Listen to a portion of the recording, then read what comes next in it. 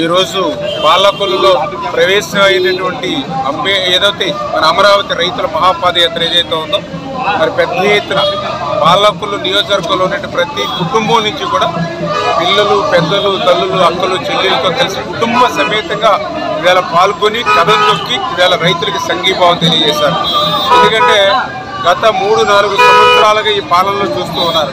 తమ పిల్లలకి ఒక విద్య ఉద్యోగం ఉపాధి ఆరోగ్య అవకాశాలు కల్పించేటువంటి అమరావతిని వేళ జగన్మోహన్ రెడ్డి నాశనం చేసి యువత అంతా కూడా నిర్వీర్యమైపోతూ ఉన్నారనేటువంటి బాధ ఈవేళ ప్రతి కుటుంబంలోనూ కూడా ఉంది. అంతకు మించి ఈవేళ అమరావతి రైతులు ఈవేళ ఈ రాష్ట్రానికి ఒక గూడు నీడ ఇవ్వాలనే ఉద్దేశంతో తమ విలువైనటువంటి భూముల్ని మరి ఈవేళ